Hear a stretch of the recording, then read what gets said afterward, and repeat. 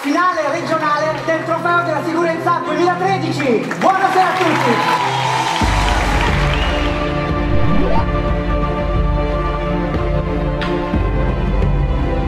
Allora, a questo punto io chiamerei però sul palco anche dei genitori, dobbiamo premiarli o no?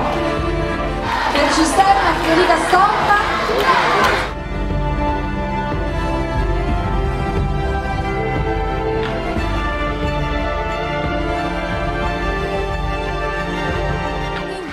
Cominciamo a dare dei premi iniziali perché la squadra J-Fox vuole dare un premio riconoscimento a dei ragazzi di Rimbalzo del Malintenzionato Sì. che hanno fatto dei lavori.